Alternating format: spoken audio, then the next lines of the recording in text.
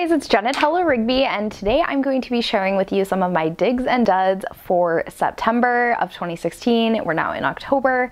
I can't believe that the month is already gone and we're already into like a full full on fall. So crazy how it's already October, but I feel like I say that every single month. It's just true. So anyway, without further ado, let's get into the favorites for this month and a few things that were just not. All right, so first up, I'm going to be talking about some of my favorites in beauty. So the first item is the lip combo I actually have on my lips today. I got sent a um, a package from Influenster. If you haven't signed up for Influenster yet, it's free to do so, and it's not just for influencers, it's for anyone.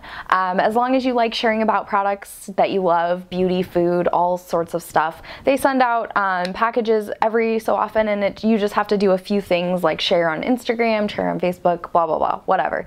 Um, you probably already know what Influenster is, but if you haven't heard of it before, I'll link it down below and you can sign up. I don't get anything if you sign up, so don't worry about using any special link. It's just link to their website. Anyway, I got a package from Bite Beauty and it is for their um, product called Multi Sticks and I'm wearing the color in Blondie and it is super pretty. It is a nude color as you can see on my lips. Um, it's just a really nice neutral nude color, maybe a little on the warm side, but I really like it. And then I paired it with this LA Colors High Shine Gloss and this is in the color um, CLG 949 Fresh. It is their High Shine Shea Butter Lip Gloss. It's a really good color match. Um, it's a little bit darker than it, just ever so slightly, and it's really glossy and it's not sticky or like too terribly tacky. It feels really nice on the lips. And it just adds some hydration to the matte formula. So if you're not a big matte person, I always like having a gloss that's neutral on hand to put on the top of any drying matte lipsticks, um, especially this time of year now that we're getting into the months where I'm even drier. Anyway, those have been my go-to lip combo this month, especially the Blondie lipstick. I've worn it matte and I've worn it with lip gloss and I love it both ways. Um, in terms of skincare, I did a, recently did a sponsored post with Oz Naturals and they actually had sent this to me before I um, was working with them on that sponsored post. I just so happened that I already had this um, from a PR company that contacted me about it, which was so nice because this product is awesome for dry skin people because it is hyaluronic acid um, with a few other ingredients, but what I find is this is really great to use all over the face. And then I use it in combination with their vitamin C serum, which I focus on areas that I'm really concerned about wrinkles. Um, so I have a couple of wrinkles on my forehead, not gonna lie, it's just how it is. And I concentrate the vitamin C serum there and then I use this all over everywhere else because I'm dry and I find that the vitamin C serum um, is very firming and it does make my skin feel a little bit dry. So I allow that to set and then I put this everywhere else and I find that it works really, really well. And in addition to the vitamin C serum, something I found that's really helped with wrinkles, um, preventing fine lines and wrinkles is this firming DMAE moisturizer from Derma-E. They sent this to me in a PR package a couple months ago. I didn't even know it was coming. It was just kind of like a surprise little gift. And I tried this out recently um, because I was like, ooh, firming hmm. So I use this on my forehead only because that's my area of most concern when it comes to firming. And I just put this on that area at night and I find that the next morning my skin feels really hydrated. It looks nice and plumped up and I don't know that it feels any different. It doesn't feel like super firm, like, you know, in an irritated way. It just feels like my skin looks better and it looks moisturized. So really like this. I've also been using a hyaluronic acid moisturizer, which I find is really nice as well. In terms of foundation, I've really been loving the Laneige BB Cushion this summer. This is in the color Fair. And if you're not familiar with cushion foundations, what I like most about them is that they're super hydrating. So I tend to be on the drier side, but the thing I like about this one is it has that BB cream texture. It's very lightweight, very moisturizing, and it also has sun protection in it, which is awesome for summer. Now that we're into the more fall months, I'm still using this foundation for now, but we'll probably switch to something a little bit more coveragey because I tend my skin tends to break out a little bit more in the cooler months because it gets more dehydrated, which causes my pores to get clogged. But for now, I'm still using this foundation because I do really enjoy it. It's really nice and hydrating, feels good on the skin skin and it's non-irritating. I do have sensitive acne prone dry skin, which is a difficult combination, but this is a great foundation. The other product I wanna mention in foundation, which is completely different, is a moisturizing foundation stick from e.l.f. And I talked about this on my Instagram recently because I went to New York City and I needed something that was travel friendly. I didn't wanna um, have to fill up my bag too full with liquids, so I chose the stick foundation because it doesn't have to go in your liquids. Um, when you're traveling, we um, flew with just a carry-on. I didn't want to anything. So I used this because of that reason and I ended up really, really liking it um, because it also stayed put all day throughout like intense humidity. And even though it's moisturizing, I didn't find that it moved at all. It's not too moisturizing. It's also not too drying or matte either. It's a nice in-between foundation and I think it would work for pretty much all skin types because it's not too moisturizing and it's not too drying. So it's a good happy medium for most people. May not work for super oily skin, I'm not sure, um, but definitely normal combination and dry skin will really like this. And I have this in the color Ivory and it's a great color match for me. I've also been loving the Charlotte Tilbury Instant Look in a palette. This has been such an amazing palette. I didn't expect to love it as much as I do. It was pretty pricey and unfortunately I think it's now unavailable, but I will say that Nordstrom has a habit of bringing this out at special sale times. So it would not surprise me if they brought something similar out this coming Christmas. So keep an eye out for any of these Look in a palettes because they are super awesome. Um, she does sell a lot of these products um, on their own as well. These two are the Hollywood Bronze and Sculpt, and then these are her blushes um, in, let's see, it doesn't say what colors they are, but I'm sure it's one of the ones that she sells in full size. And then this across the top is very similar to her Dolce, Dolce Vita um, eye palette, like the little quad. So if you're in the market for a, um, a good new high-end brand to try, I would definitely recommend Charlotte Tilbury. I've especially loved the blush and the eyeshadows are super awesome. The bronzer and the highlight are pretty, but I think they're they might be just a tad too dark for my um, my winter skin that it will be appearing. I recently got my very first spray tan. Shout out to Rain Glow in Seattle, who is awesome. You should definitely check them out if you're interested in spray tans in the Seattle area. Um, but these two became a lot more of my color um, this last week, but now that my spray tan is on its way out, it is starting to look a little bit too dark for me again. So these will these are definitely great um, for light to medium skin, maybe not so much if you're super fair like me. Okay, totally random, but another favorite this summer has been the Dorco Shai Razor. And if you're not familiar with Dorco, they offer uh, budget-friendly razor systems. So their razors are more, like about half the price of what you pay in the drugstore. It's like $6, you get two two cartridges already and then the refills are much, much less expensive. I've paid up to $15 for refills, so anything less than $10 is a win in my book and you can get a whole set for less than $10 from them, which is super awesome. And it performs just as well as my drugstore razors. This one reminds me a lot of the Schick Hydro Silk, which I absolutely love and I really do like it, I, but I like this one just as much. And when it comes to replacing razor blades in the future, I'm definitely gonna lean towards Dorco because it just is more cost effective. And another product I've absolutely been loving is the IT Cosmetics Brow Power. I've been using this actually off and on for a while, but I recently used up the last of my Ardell brow product, and so I grabbed this out of my bin of all the items that I need to use up and have been loving it and realized why didn't I keep using this? I have no idea, but it is a great brow product. It's what I have on my brows today and it's what I've been using recently and I just feel like it, it does a great job of both being not too warm, not too cool, and it really just is easy to use and is pretty much foolproof. It's got a really nice spoolie on the end. It's nice and big and fluffy, which is really useful when you're blending out your brow color. And um, combined with the Essence Make Me Brow, I find it to be perfect sets all day and my brows look great. So absolutely loving this as well. So that is it for my favorite beauty products, but I also wanted to talk about a few fashion items that I've been digging this month. Um, I picked up this hat at Fred Meyer. Oh, I'll have to go back a little bit. There we go. Get it all in frame. Um, it is from the brand D&Y or David and Young. You can find this at your local, oop, there's a little fuzz on it. you can find this at your local Fred Meyer. I think Nordstrom also carries this brand as well as like Nordstrom Rack. Um, I've seen it a few, I'm trying to think of where else I've seen it, but you can definitely look it up online. As, and I'll also link it down below, but I just really like this hat. I used it when we were traveling to New York and I just find that it goes with a lot of outfits because it's a nice neutral color. It's really comfortable and it's just a nice hat that will go from summer to winter really easily. It is wool, so it's a little bit on the warm side.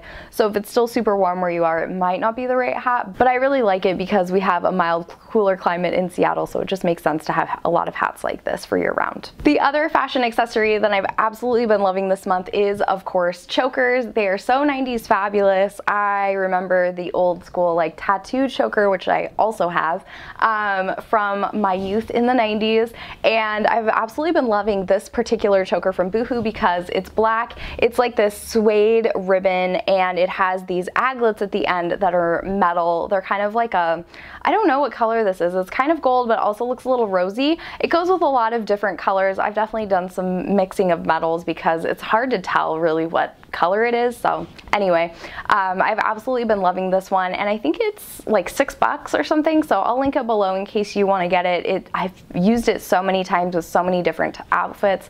Just been loving it. I'm even wearing a choker today. This one is actually a belt that I've now converted into a choker. So you do you. Pick a, pick a choker type that you absolutely love and give it a try.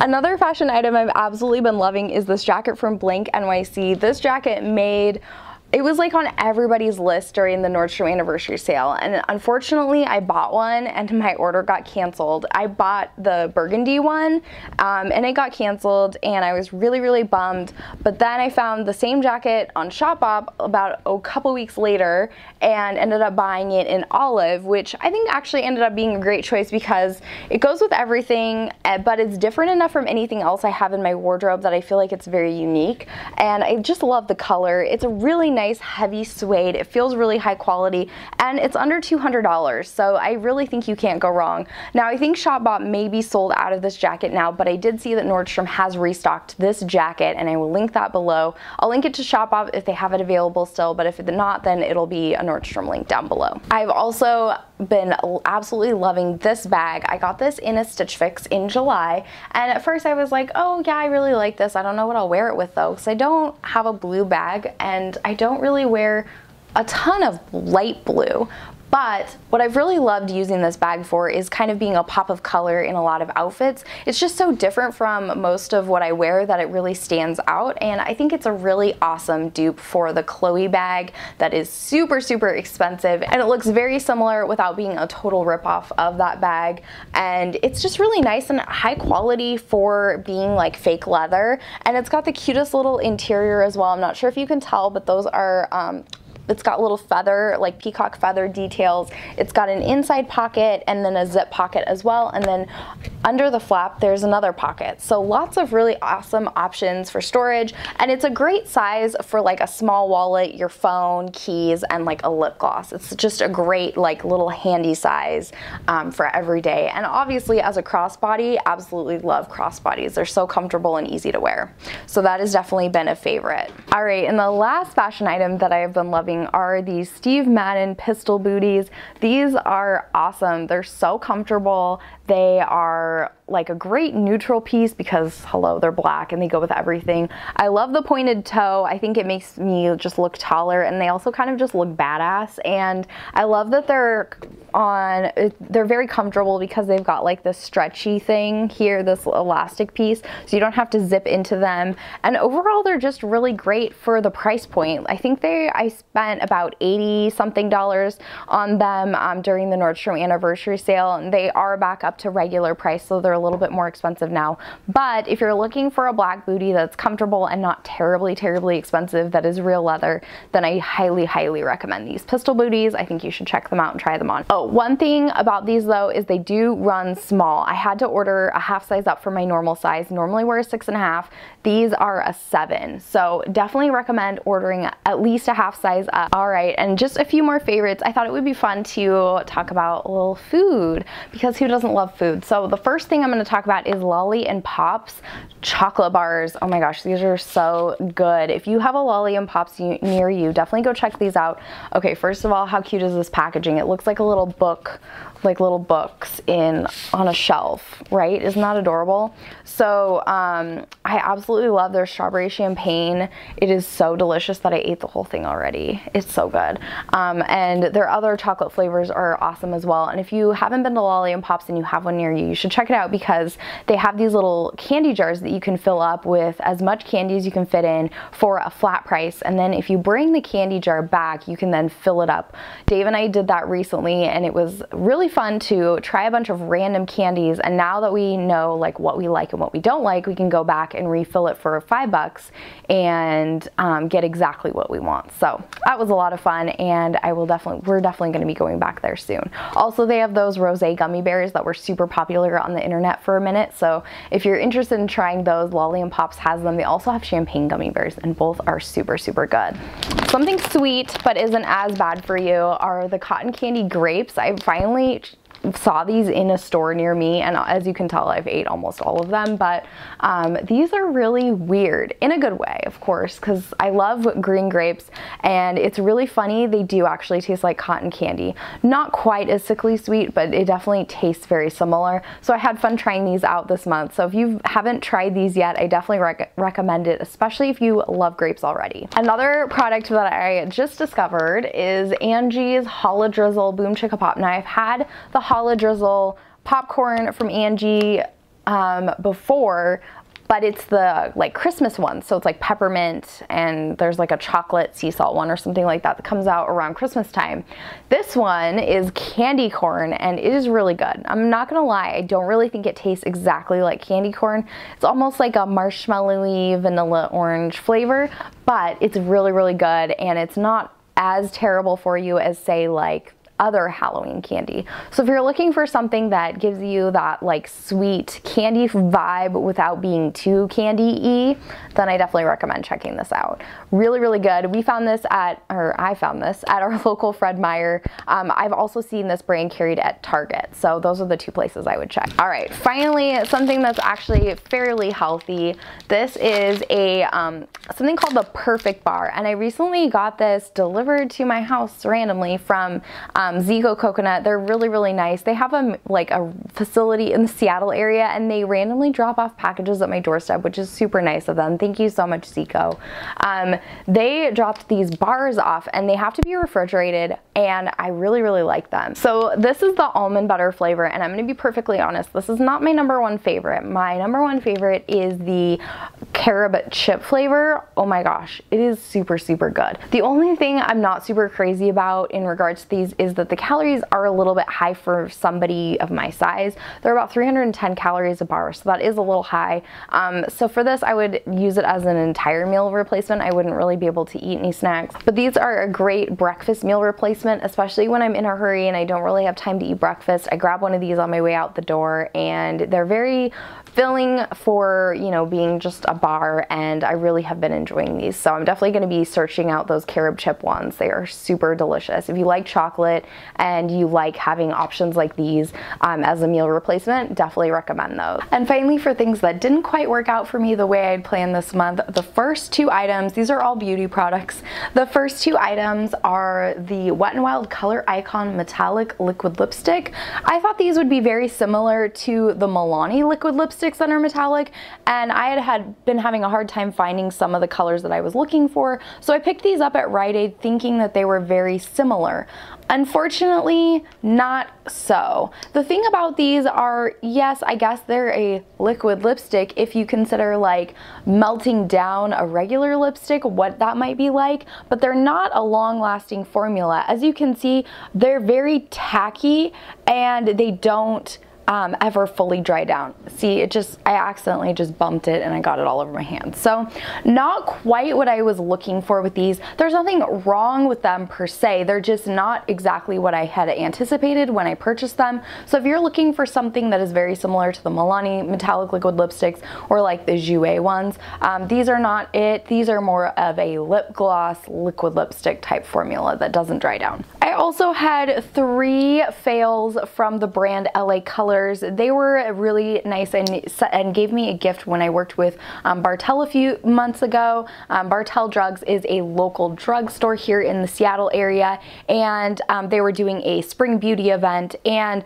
while I was very happy to receive those lip glosses from LA Colors, those are amazing. I absolutely love those and some of their matte lipsticks. I was really disappointed in their graphics liners um, and this was something I tried to use during it. Not this color, I tried the purple in the tutorial and it was a big fat fail. I had to remove it with makeup remover because it just wasn't going on the way I wanted. And that is the problem with this. If you can see right here, it is not pigmented enough at all. It doesn't really work as an eyeliner in the way that I was expecting. It's kind of a sheer liquid formula, just not what I wanted when I was looking for a liner like this. Um, so for that reason, it's just not my favorite product. And the other product that I didn't like from LA Colors was their eyeliner pencil. I did try their auto eyeliner, which I thought was much nicer. This is a pencil and it's in this bright cobalt shade, but unfortunately it just kind of doesn't perform the way I had anticipated. I was looking for something a little bit creamier that I could use on my um, inner waterline to get kind of a pop of color, and this just isn't the right formula for me. It's just not as soft and pigmented as I wanted. So for that reason, this is another product that I really can't recommend. So that's everything in this month's Digs and Duds. I hope you enjoyed it. I will be filming videos twice a week on the go forward, so catch my next video this coming Friday. Can't wait to see you. Bye.